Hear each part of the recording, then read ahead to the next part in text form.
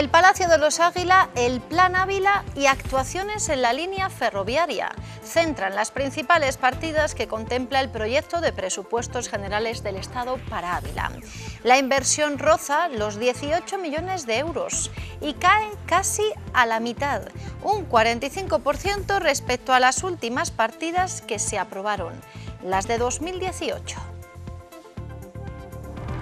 Muy buenas tardes, ¿cómo están? Es jueves 29 de octubre y un día más estamos muy pendientes de la situación sanitaria, pero hay más asuntos. Vamos con titulares. Se declara el cierre perimetral de Castilla y León a partir de las 2 de la tarde de este viernes y hasta la misma hora del viernes 9 de noviembre, una medida que también anunciaba Castilla-La Mancha y que no suscribía finalmente Madrid en la reunión que los presidentes de las tres regiones mantenían en la tarde de ayer en Ávila. Una prohibición que contempla algunas excepciones por motivos sanitarios, educativos o de fuerza mayor. Soraya García, Castilla y León sí podrá ser comunidad de paso. Se podrá circular por las carreteras y vías de nuestra comunidad siempre que el viaje tenga origen y destino en otra región. Con ello sí se podrá parar para repostar en gasolineras o coger alimentos, pero no está permitido pernoctar. Un cierre perimetral que pone puertas al turismo en la capital y la provincia, lo que perjudicará especialmente a los hosteleros. Ana Agustín. Los hosteleros se encuentran al límite de sus fuerzas al toque de queda implantado desde las 10 de la noche y hasta las 6 de la mañana. Se une ahora el cierre perimetral que imposibilita el flujo turístico del que vive buena parte de la provincia. Por eso solicitan ayudas directas e inmediatas para poder sobrevivir. Y otro sector que hoy ha salido a la calle ha sido el de ayuda a domicilio. Consideran inaceptable la propuesta de la patronal para un nuevo convenio colectivo que lleva desde 2016 bloqueado. Más de 500 personas, el 98% mujeres, conforman este sector entre la capital y la provincia. En la provincia también estaremos para conocer la situación dispar que viven los polígonos abulenses, algunos casi vacíos, otros con nuevas fases en proyecto o ya en marcha. En Conexión Ávila en este jueves recorreremos la provincia, pero antes les ofrecemos un adelanto en nuestro informativo. En tiempo de deportes les contaremos a qué rival se enfrentará el Colegio Diocesano SUCAB en la Copa del Rey, pero hay más asuntos. En principio, el cierre perimetral de Castilla y León y Castilla-La Mancha no afecta al deporte. Precisamente Ávila Sala tiene que jugar el sábado en la provincia de Toledo. Cuerpo técnico y jugadoras están preparando el partido ante el Villacañas, correspondiente a la tercera jornada en segunda. Por su parte, Marta Muñoz ha concluido un ciclo de tres torneos en tres semanas y lo ha hecho en Madrid, consiguiendo su mejor puesto de la etapa profesional. Ha logrado la tercera posición en el Santander Golf, por lo que refrenda una progresión que tiene resultados apreciables.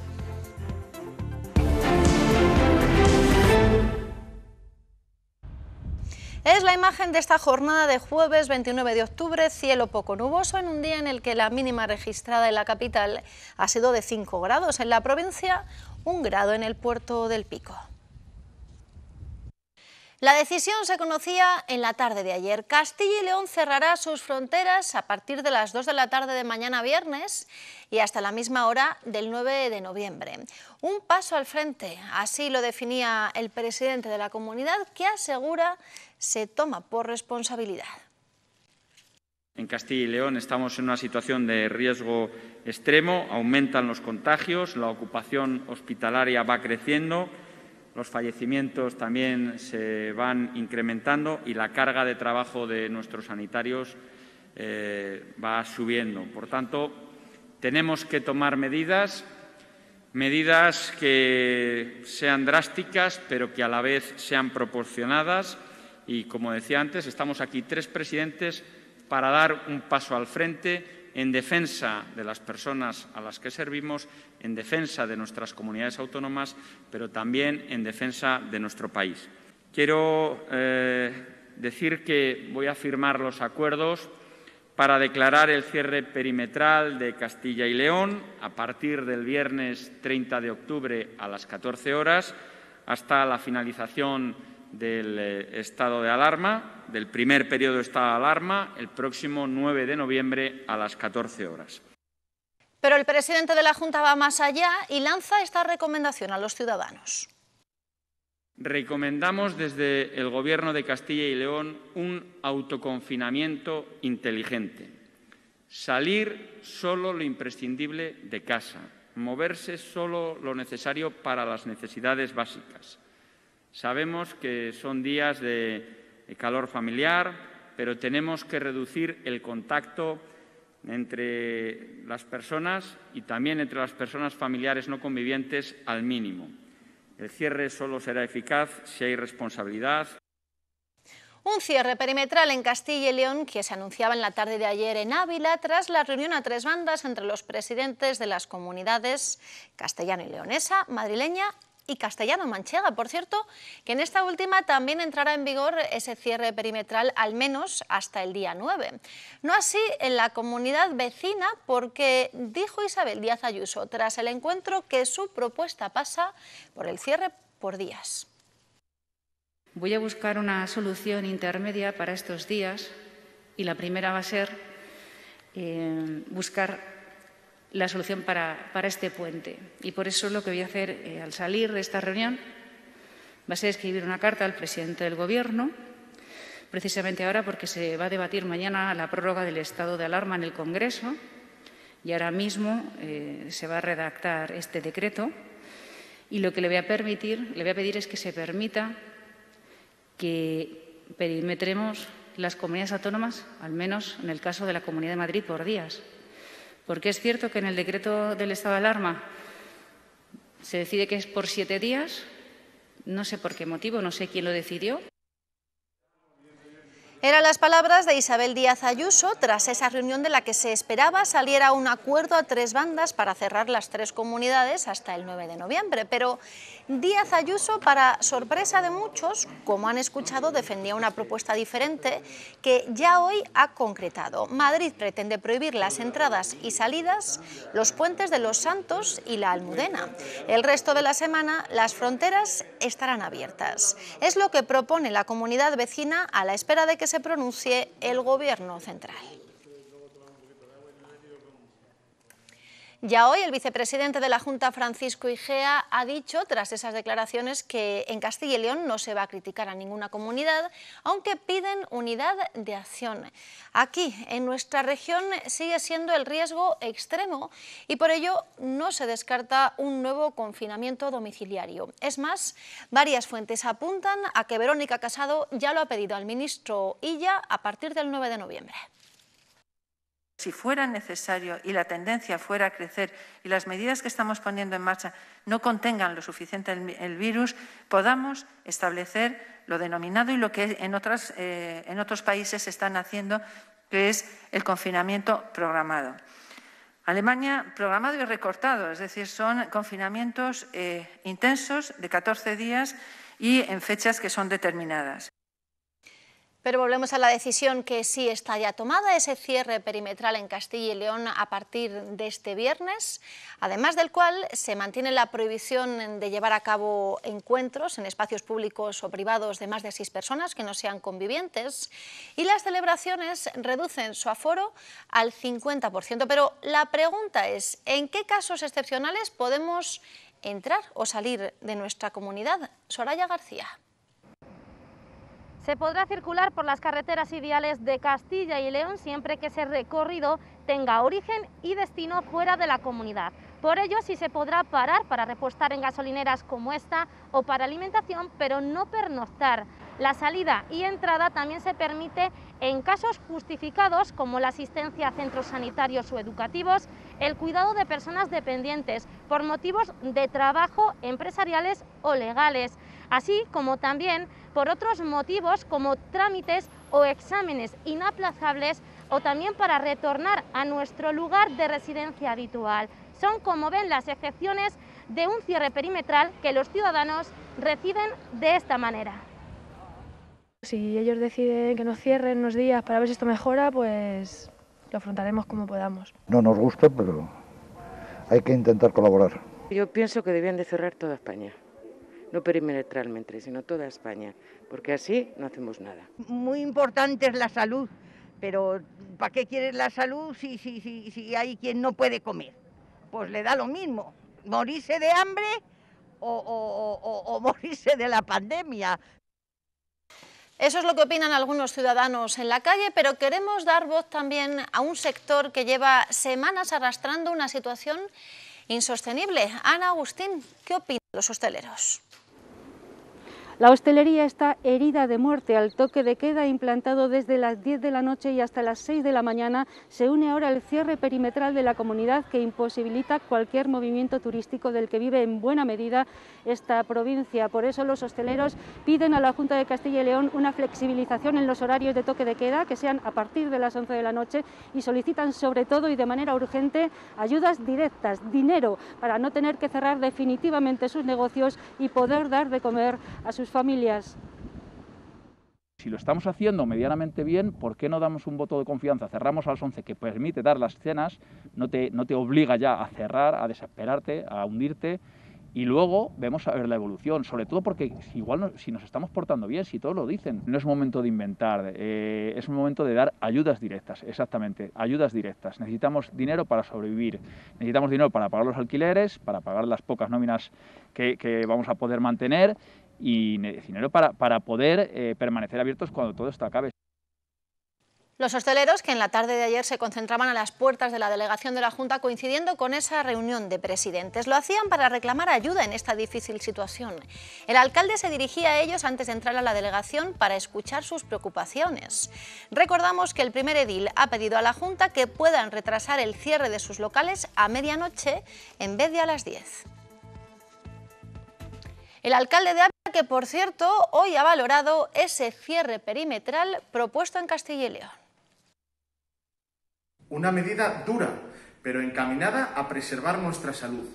Por eso, desde el Ayuntamiento de Ávila y con la lealtad institucional que nos caracteriza, apoyaremos la misma y cumpliremos lealmente.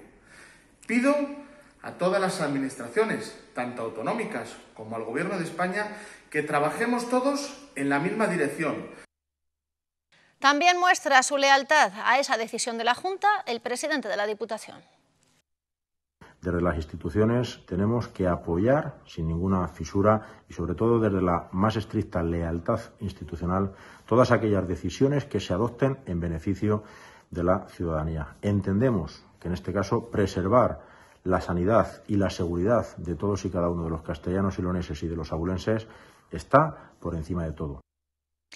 Y ahora hablamos de un sector que no termina de entender las decisiones que se están tomando. Nos referimos al educativo. En concreto, el Sindicato de Trabajadores de la Enseñanza de Ávila denuncia que no se tome ninguna medida en los centros escolares a pesar de la gravedad de la situación.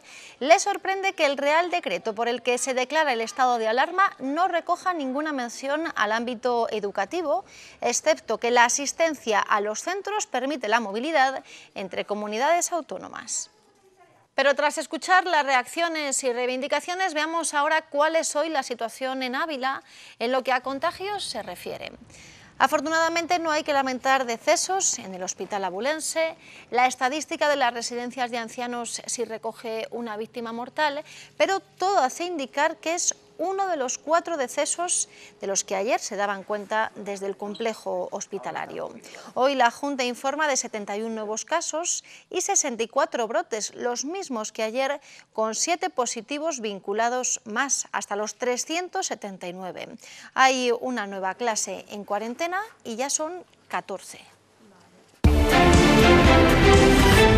Se lo contábamos al inicio de este tiempo de noticias. El Palacio de los Águila, el Plan Ávila y actuaciones en lo relativo al ferrocarril son las principales partidas que contempla el proyecto de presupuestos generales del Estado para 2021 que se ha presentado esta misma semana y que recoge una caída en la inversión que supera el 45%. Los últimos presupuestos aprobados en 2018 dejaban para Ávila una inversión de 32.700.000 euros. Ahora esta cae casi a la mitad, un 45%, con cerca de 18 millones en las cuentas que acaba de presentar el Gobierno. Como es habitual, el Ministerio de Fomento es el más inversor con casi 6 millones y medio de euros, seguido de Transición Ecológica con 3 millones y medio y el de Cultura y Deporte con 2 millones y medio. La principal partida se la lleva el Palacio de los Águila con esos 2 millones y medio de inversión que recoge el Ministerio de Cultura mientras que para el ferrocarril se reparten varias partidas que suman más de 2 millones y medio de euros que Renfe destinará a reparaciones, actuaciones en material y seguridad de la circulación, a lo que se suman 534.000 euros que Adif invertirá en actuaciones en estaciones y sistemas de información. El Plan Ávila 2020 recibirá un millón de euros del Gobierno central, tal y como se recoge en este documento, por su parte, el proyecto de abastecimiento de las cogotas sí se refleja con una partida de 245.000 euros. El proyecto de presupuestos también pretende continuar con la reforma de la Escuela Nacional de Policía con 100.000 euros. La misma inversión simbólica en el caso de dos proyectos ya históricos para las comunicaciones por carretera y que siguen sin recibir un impulso para avanzar, la A40 y la A6. 50.000 euros para la muralla y otros 50.000 para obras de reparación de los cuarteles de la Guardia Civil son otras de las partidas que recogen estos presupuestos para el territorio abulense. Y hoy en Ávila, desde las instituciones, llegan las reacciones a ese proyecto de presupuestos. Sin lugar a dudas, no son los presupuestos que necesita en este momento la ciudad de Ávila. Denotan la falta de compromiso del Gobierno de España con nuestra ciudad. Y pido a los parlamentarios nacionales de los tres grupos políticos con representación en las Cortes Generales que por favor se impliquen presentando enmiendas a este borrador de presupuestos que sin lugar a dudas es malo para la ciudad de Ávila. Son el desprecio más absoluto a todos aquellos abulenses que viven en el medio rural. Un olvido al cual nos somete año tras año el Partido Socialista. Muchas necesidades reales, muchos servicios que vienen sin cuantificar, son el mejor exponente de la desidia y de la tomadura de pelo al cual el Gobierno de España somete a provincias como Ávila. Presupuestos de la vergüenza. Así titula su nota de prensa la Confederación Abulense de Empresarios. Tras conocer las inversiones recogidas para Ávila, muestran su malestar al comprobar que se recortan casi 15 millones respecto a lo de 2018 y 10,5 millones de euros comparando con 2019. Entre las partidas destacan la del Palacio de los Águila, al que tildan de proyecto fantasma que en los últimos años no se ha visto avanzar.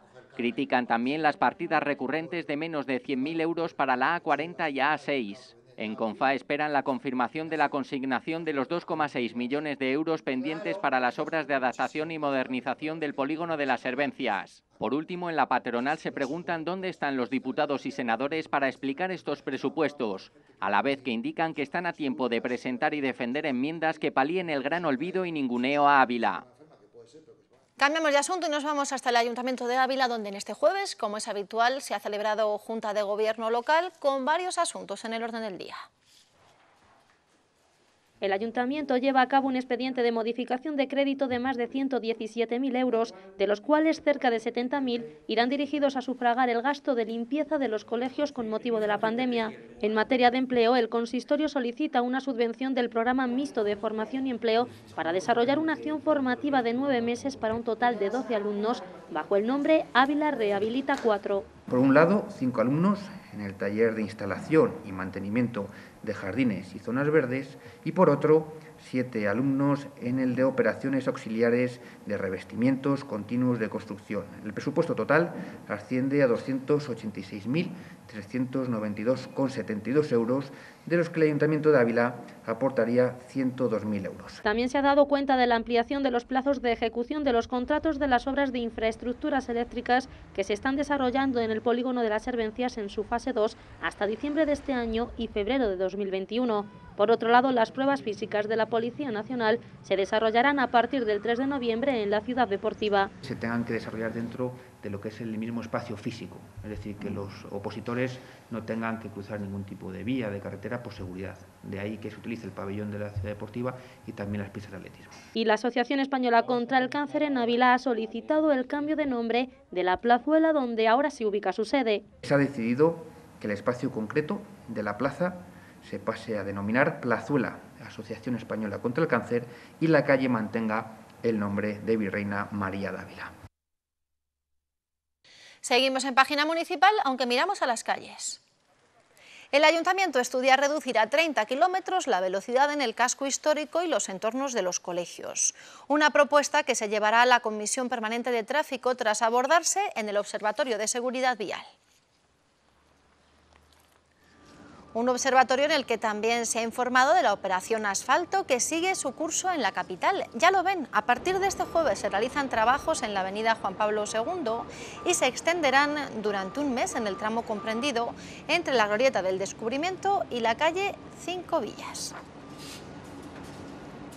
También en página municipal abrimos la crónica política, lo hacemos de mano del Grupo Municipal Popular. Este pide de nuevo medidas efectivas para revertir la situación de crisis de hostelería y comercio, medidas similares, dicen, a las que están implementando otros ayuntamientos de toda España, especialmente ayudas directas y bonificaciones tributarias municipales a los sectores más afectados vuelven a pedir al alcalde que no malgaste el dinero de los abulenses en acciones tan pintorescas como regalar mandiles con su logo y que lo aplique en medidas que realmente ayuden a la ciudad. El PP que acusa al equipo de gobierno de inacción, mientras el PSOE lo hace de ocultismo. Yolanda Vázquez se pregunta qué razones tiene para no dar la información que solicitan los socialistas. Esta falta de transparencia, dicen, les lleva a pensar que no se hacen bien las cosas o que quieren entorpecer la labor de la oposición. Las reivindicaciones también llegan de fuera de la crónica política. Esta mañana el sector de trabajadoras de ayuda a domicilio ha salido a la calle. Se manifestaban en la plaza del Mercado Chico porque consideran inaceptable la propuesta de la patronal para un nuevo convenio colectivo que lleva paralizado desde 2016. En Ávila son unas 500, el 98% de ellas mujeres, las personas que se dedican a este servicio en la capital y la provincia. Un comunicado leído frente al ayuntamiento en el Mercado Chico daba cuenta de la situación y de las demandas del colectivo de trabajadores de ayuda a domicilio.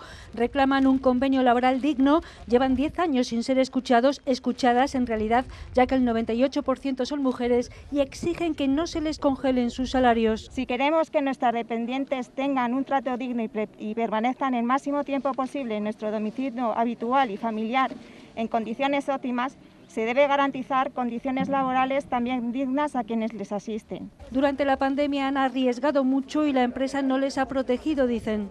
Hemos ido a domicilios que había que irlos a atender y te encontrabas con COVID, porque no todos los COVID estaban en los hospitales ni en las residencias. El riesgo ha sido elevadísimo. Además, su itinerancia por la provincia tampoco está reconocida como jornada laboral. De la zona rural nos desplazamos de pueblo en pueblo, ¿vale? que se nos tiene, que viene, viene recogido en convenio 75% y lo que queremos es que se nos pague como jornada, ¿vale? que se nos compute como jornada y eso no está sucediendo. El alcalde de Ávila ha bajado a escuchar a este colectivo y una representación de él ha mantenido con posterioridad una entrevista con el regidor ya en dependencias municipales. Junto a la firma del Plan de Fomento para Ávila y su entorno, la Junta se comprometió a impulsar los polígonos industriales de nuestra provincia. Esta tarde, a partir de las cuatro y media y también a las 10 de la noche, en Conexión Ávila, nos adentramos en algunos de ellos, pero en nuestro informativo les ofrecemos un avance. El suelo industrial de la provincia es heterogéneo y desigual. Esta es la conclusión que extrae la oficina Tracción Ávila del sondeo de los polígonos de nuestro territorio. Por un lado tenemos polígonos industriales, como por ejemplo el de municipios como San Chidrián, Arévalo, las Navas del Marqués o Arenas de San Pedro en la provincia y el de Vicolozano o las Servencias en la capital, en los cuales nos hemos encontrado que el suelo industrial disponible eh, está casi totalmente ocupado al 100%. Como el polígono de las Ventillas, en Sotillo de Ladrada, que está en pleno proceso de ampliación. Una ampliación del 25% de la superficie disponible y que entendemos que a corto plazo permitirá que nuevas empresas puedan asentarse y algunas de las que están ya y que nos habían manifestado su, su interés puedan ampliar sus instalaciones. Esta altísima demanda se aprecia también en el polígono Tierra de Arévalo. Su segunda fase, que ha estado sin luz tras el robo de los cables el mismo día de la entrega, ya cuenta con empresas implantadas. Nos han llamado bastantes empresas para interesarse por Arévalo y por la situación de, la, de esta fase 2 del polígono. Como ves, poco a poco se van implantando más empresas y más empresas muchas tienen que ver con la logística. En el otro extremo, polígonos como el de Solosancho, que ya va a comenzar a recibir empresas tras una cuestionable planificación urbanística. Es más grande el suelo industrial que el suelo urbano con el que contamos en el municipio, es así. Pero bueno, en su momento fue la, la decisión que se tomó, una decisión, una decisión ambiciosa, pero nosotros vamos a ir poquito a poco, vamos a ir con esta primera fase y tenemos el resto de esos 140.000 metros para seguir trabajando a futuro. Misma suerte que este espacio en el que por el momento juegan familias, el polígono de Cebreros. Hubo que modificar las normas porque este polígono tenía una cota de altura para las naves tan baja que no tenía ningún sentido y tenía también cosas tan paradójicas como que no podía instalarse una gasolinera, que no se podían instalar talleres para automóviles, que no se podía instalar eh, un bar. Hemos pasado muchos años intentando poner en, en orden una infraestructura que se ubicó en un mal sitio por eso, desde este consistorio y desde el resto de municipios de la provincia esperan que el compromiso de la Junta de impulsar los polígonos abulenses suponga el empujón definitivo para la actividad industrial. Es momento ya para el deporte.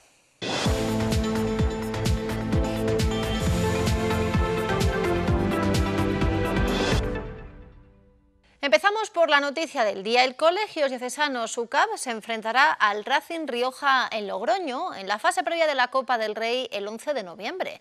Pero antes de ello, lo que se espera disputar este fin de semana es el partido de Ávila Sala en Toledo. Sin haber debutado en la capital de la muralla por el aplazamiento de la semana pasada, Ávila Sala tendrá que viajar a la provincia de Toledo el sábado por la tarde para medirse al Villacañas. Están pendientes de si el cierre perimetral les afectaría, pero aún no hay nada oficial. Hemos solicitado a la Federación Española un justificante porque al final, bueno, pues entendemos que somos ciudadanos y estamos saltando, entre comillas, el toque de queda. Eh, esperemos que no haya problemas. De momento no, la Federación Española no nos ha comunicado lo contrario, sino nos facilita el justificante y nada, a ver si puede ser. Regresan, por lo tanto, a competir ante un equipo que sí ha disputado las dos jornadas y ha ganado uno de sus encuentros. Se ha enfrentado el fin de anterior a Chiloeches, que es otro equipo que también está ahí peleando en la zona alta, eh, perdieron 6-0 y bueno, a ver, no sabemos, yo creo que será un rival contra el que podremos competir, evidentemente será fuerte y también nos esperamos un rival bueno, pero bueno, ahí con intención de competir.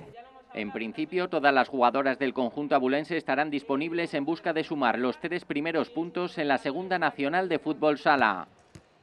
El mejor resultado hasta el momento en su carrera como profesional del golf es lo que ha conseguido Marta Muñoz en Madrid tras tres semanas compitiendo. Hasta la tercera posición ascendía Marta Muñoz en el Santander Golf Tour celebrado en Madrid. La Bulense quedaba por detrás de dos jugadoras amateurs invitadas al torneo y tuvo opciones de victoria por la primera vuelta de 72 golpes y la segunda que terminaba con 70, pero dos bogies en los hoyos 16 y 17 la relegaron al tercer puesto, primero de las profesionales igualada con Marta Martín, y lo ha conseguido en una cita que ha contado con más de 50 jugadoras, muchas de ellas del Tour Europeo de Primera División y del Circuito Americano de Segunda. Este es el mejor resultado de Marta Muñoz hasta el momento en el mundo profesional y lo hace tras pasar el corte de manera consecutiva en dos torneos del Tour Europeo de Segunda División, por lo que culmina con ello tres semanas de buen golf. Vamos ya con las previsiones del tiempo.